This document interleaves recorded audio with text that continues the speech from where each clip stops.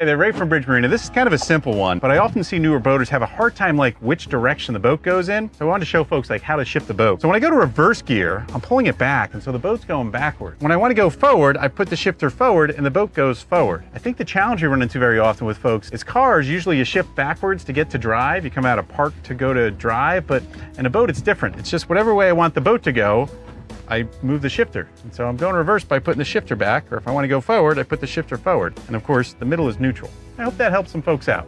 Kind of a simple thing, but hope it helps. See you in the water.